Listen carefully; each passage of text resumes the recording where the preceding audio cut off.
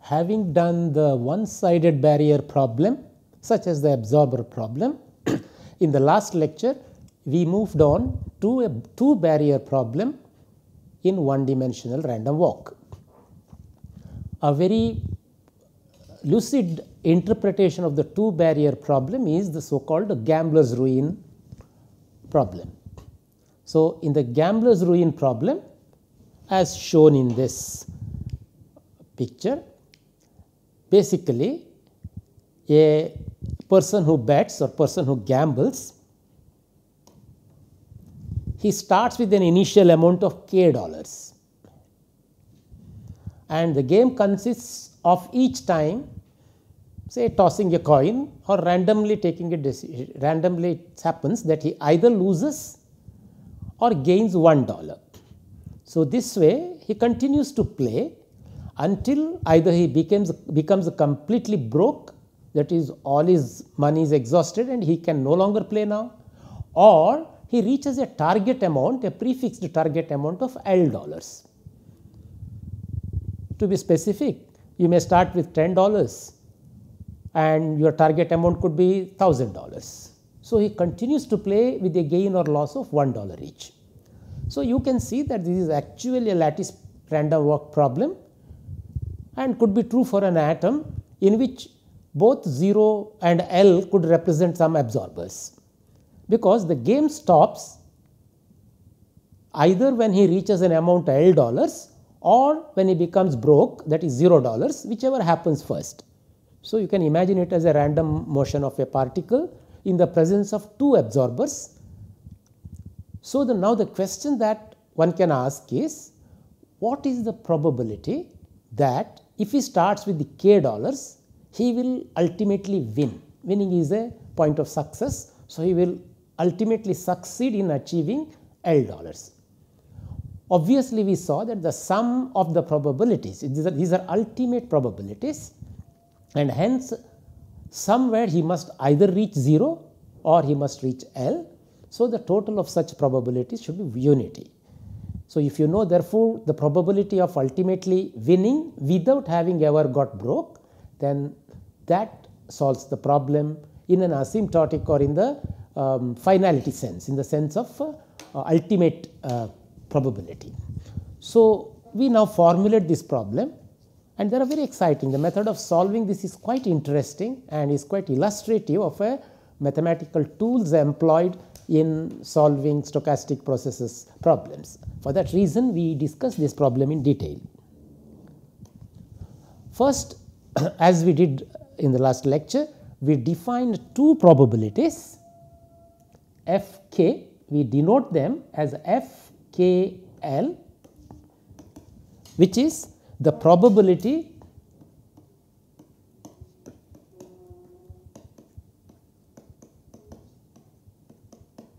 that the gambler wins starting from k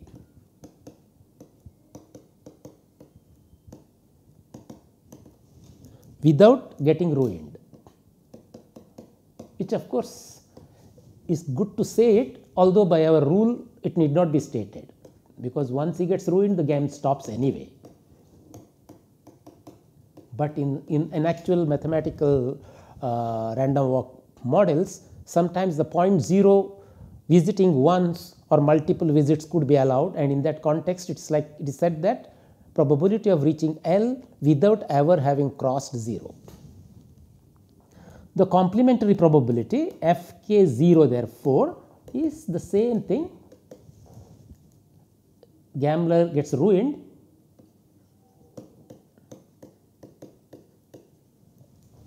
without crossing L or reaching L.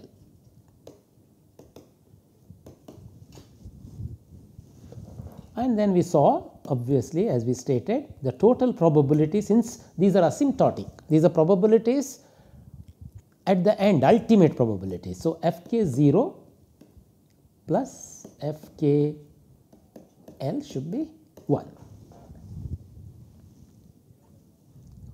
Now, the interesting part was how to formulate an equation for fk and what will be the boundary conditions, which also we achieved in the last lecture. So, just to recapitulate, we said that if this is my line 0 to L line and if he have started from let us say he is let us say at some point k or he has started from k. In fact, he can start from any point. Even if he starts from k, the problem will remain the same if it is another point. But right now, let us say he starts from k. Now, you are asking for the probability that he would ultimately reach L. So, it can happen only in two ways. Each time with the probability p, he could be gaining 1 dollar because it has to proceed in successive steps. Each time he could gain 1 dollar and each time he could lose a dollar also. So, he could have let us say gained 1 and become k plus 1 and from k plus 1 let us say he could have reached here and that probability now will be f k plus 1 by the definition of L. And this probability of him, him transiting from k to k plus 1 is p because he is a forward jump. So, we call it as p. So, with the probability p he jumped forward and then reached L is one way of Uh, uh, wording the ultimate success probability. So, another alternate way is he jumped to maybe he jumped to k minus 1 with the probability q and from there this is not to say that he jumped in one leap. This is to say that maybe many leaps, but the probability f is defined such that it is ultimate. So, ultimately he reached L from k minus 1. So, that is the probability of k minus 1 L. Hence, the probability of f k, so we can write hence in view of these wordings, we can say that the probability f k of reaching L should be the probability he, that he jumped left which is the probability q and then he ultimately reached the L if it is f k minus 1 of L or he jumped right with the probability p and from that point k plus 1 he reached ultimately the point L. So, these are the only possibility. So, this formulation is not the same as the W, w occupancy probability formulation. We must make a small difference, although looks very similar deceptively. There when we say here there is no concept of steps. First notice that here we have only states k etc. It is indexed only by states, whereas the occupancy probabilities were indexed by state as well as by the number of steps. Here number of steps could be infinity, the game does not stop.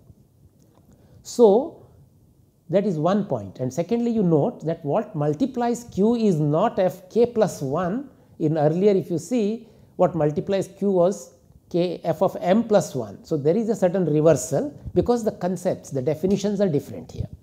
So, you will very soon compare with that notes and you can satisfy yourself that there is a genuine difference arising out of differences in concepts. So, now that we have a difference equation of this type, how to solve this difference equation? So, we have once again f of k, we can omit the superscript now, let us say it is always L and we will put it at the end is basically q f k minus 1 plus p f k k equal to 0, 1, 2 etc. We simply say superscript L is omitted for convenience.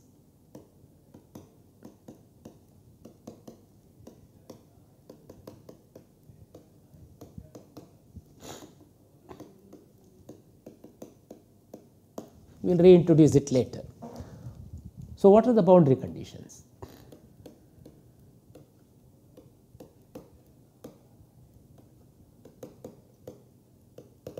Given the definition of FKL, it is obvious that the person who starts with 0 dollars can never reach L. So, one boundary condition is F naught, L I am omitting that is 0. The same breath I can say that a person just for argument's sake he starts with the L dollars straight away and he has 1.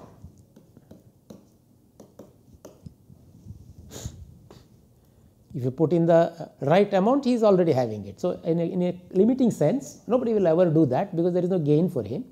So, but mathematic, mathematically speaking, if you start with the L dollars, you are already successful.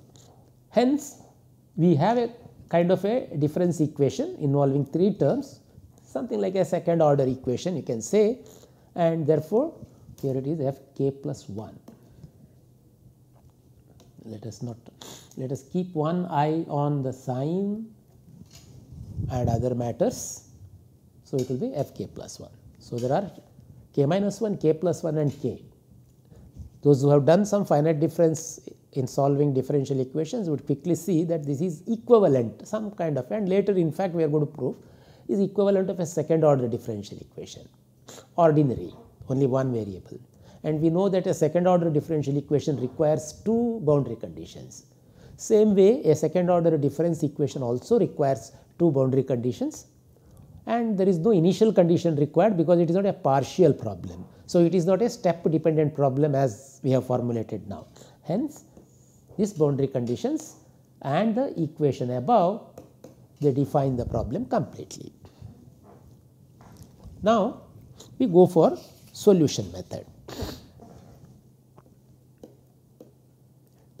How do we solve this problem?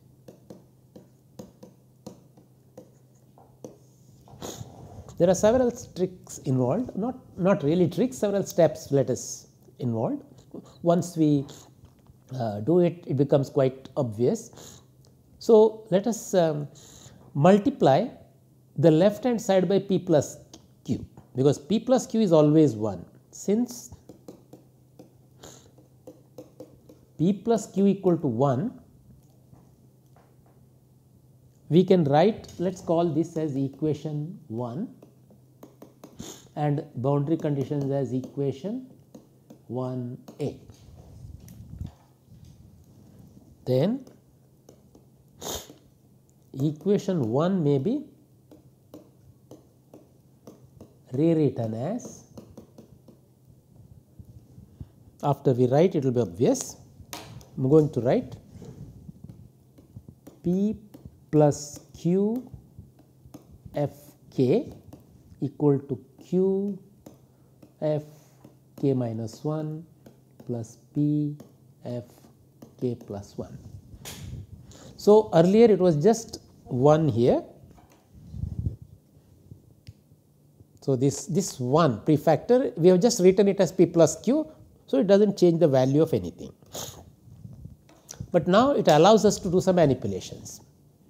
It is that I keep the QFK term here and transfer the PFK term to the forward side, then I would write it as QFK and I take the other term to the left hand side. So, it will be QFK minus 1 and here it will be now P f k plus 1 minus p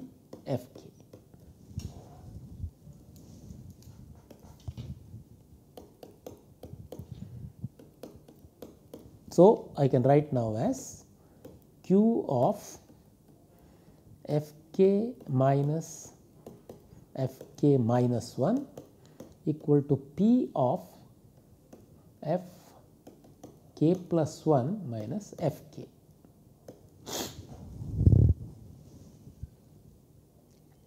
Now, let us define a quantity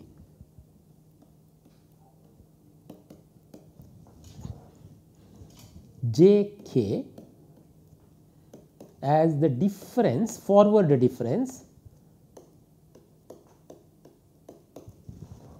between the f values at k and k minus 1. So, this is a definition. J k can be conceptualized as the equivalent of a flux term.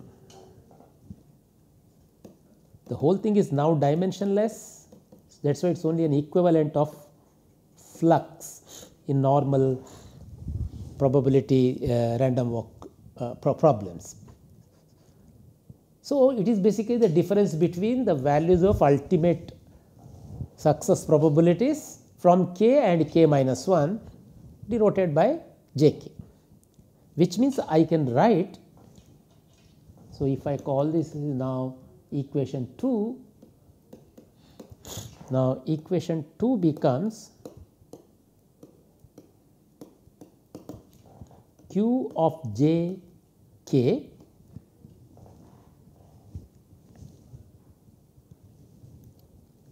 equal to p of j k plus 1 You can easily note that if jk is fk minus fk minus 1, then jk plus 1 will be fk plus 1 minus fk. Or I could I can say just by bringing interchanging the positions jk plus 1 equal to q by p of jk. So, we can we can now iterate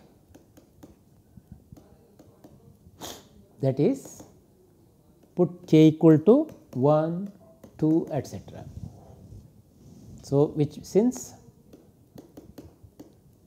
j k plus 1 is q by p of j k it implies J2 equal to Q by P of J1 and then if we put this is k equal to 1.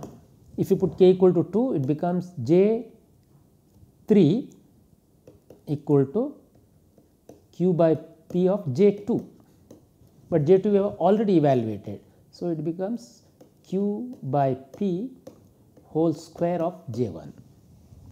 Same way you can do J4 will be q by p whole cube of J1 so on. So, in general Jk will be q by p to the power k minus 1 of J1 for k equal to 1, 2 etc. Just confirm this last generalization. If you put k equal to 1, it means J1 is J1 of course. If you put k equal to 2, J2 is q by p of J1 which you have seen and so on. So, it is perfect. J3 is q by p square. So, k minus 1 is the correct index. So, let us call it as the previous equation was 2. So, now we call this equation 3.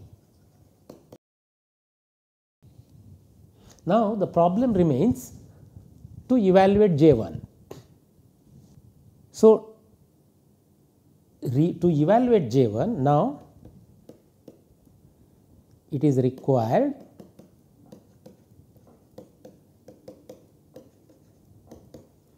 to evaluate J1. So, to do so we go back to the definition of Jk. So, Jk was Fk minus Fk minus 1 was Jk. So, I could write Fk equal to Jk plus Fk minus 1.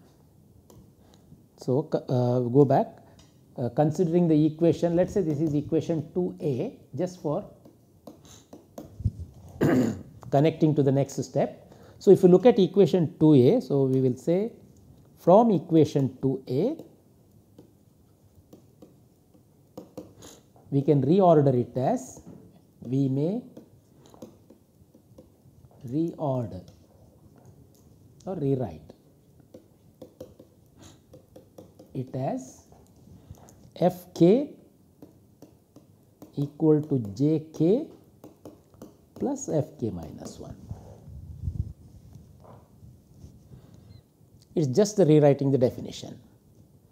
But now it allows us to iterate, which means what is f 1? Assuming this general, this is general, so I call it as equation 3a. So, if I iterate 3a,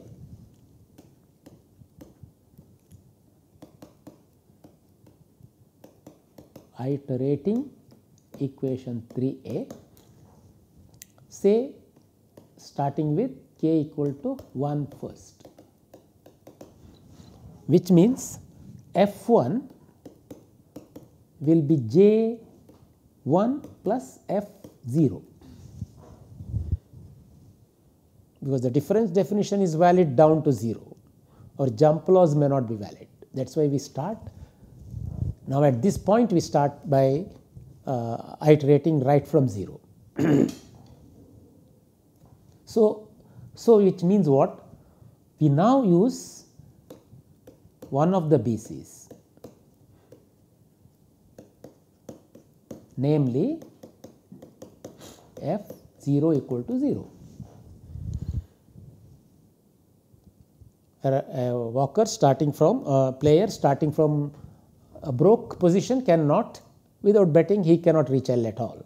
Hence, f 0 was 0. That means that is f 1 is j 1. Now, you go to f 2. Further, if you set k equal to 2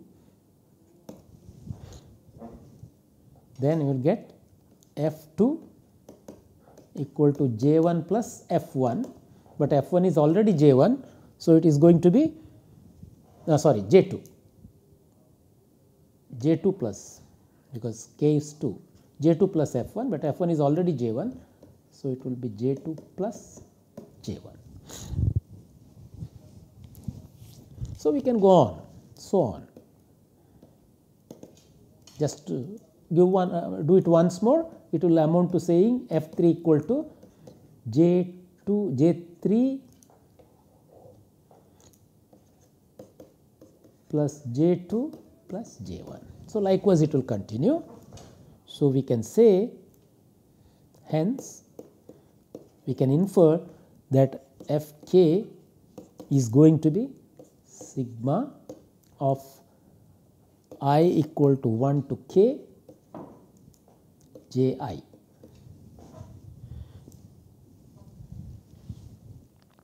So, what is J i? Go back here. We use the equation just above 3.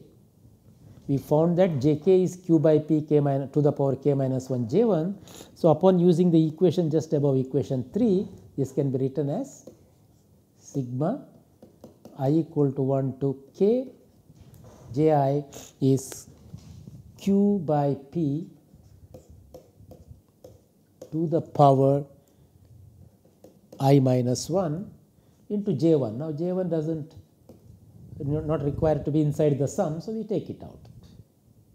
So, everything is everything was proportional to j 1 that was the only constant. So, we have a relationship which says f k equal to j 1 into i equal to 1 to k q by p to the power i minus 1. Now, this equation let us say we call it as equation 4. Going back equation 4 is a geometric series.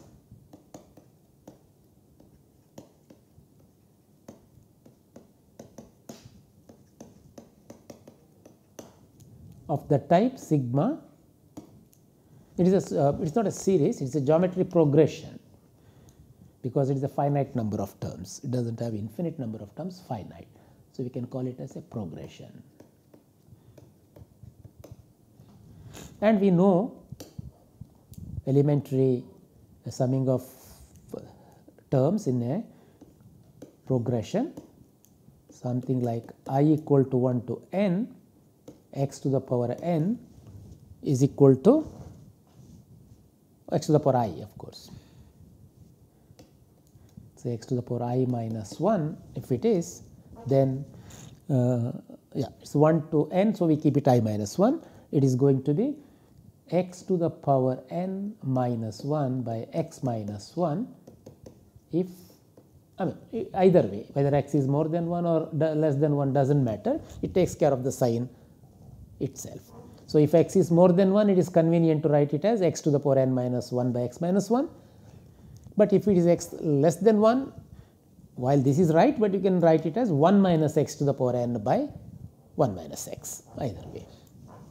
So, using this we have from equation 4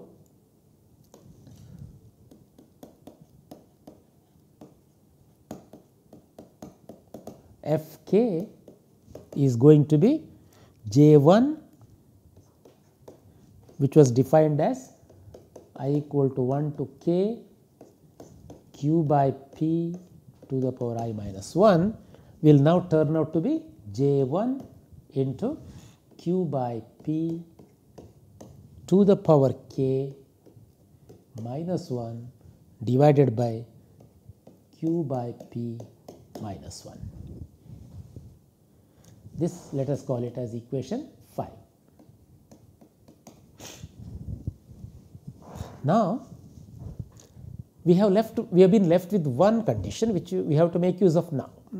Now, time has come to see what happens if k equal to L and this relationship we extend to the point x equal to uh, k equal to L itself. So, we know from BC that f L equal to 1. Probability of success if you already is at the success point is treated as 1. Hence, putting k equal to L in equation 5, hence with k equal to L in equation 5, we have f L which of course from the BCD is 1, J 1 into now, at the point L everything has to be written as L here minus 1 divided by Q by P minus 1. So, this implies now I can evaluate J1. So, J1 is just cross multiply I get that. So, Q by P minus 1 divided by q by p to the power L minus 1. You can call it as equation 5a. so, now that we have evaluated J1, we can go back to equation 5 and we have the answer. So, substituting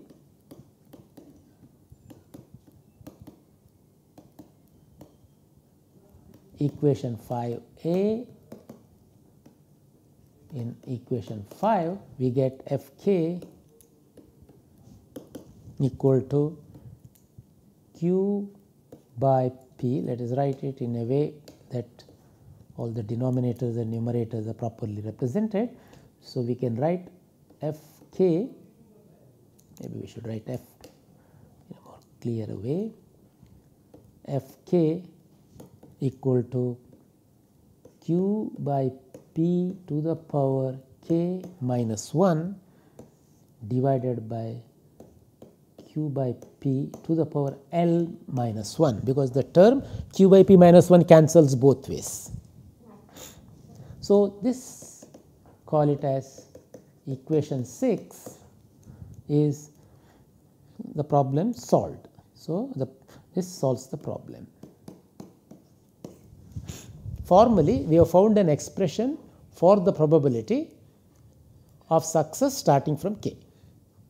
Now, here we can to come back we can superscript L, uh, we can introduce superscript L.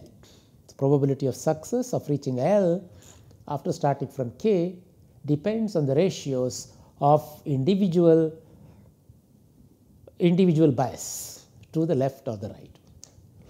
We will discuss more about this and move on to continuously to more and more advanced aspects or more and more illustrative or, or, or, uh, uh, insightful aspects of the random walk by considering effects on higher dimensions etc. in our next lecture. Thank you for now.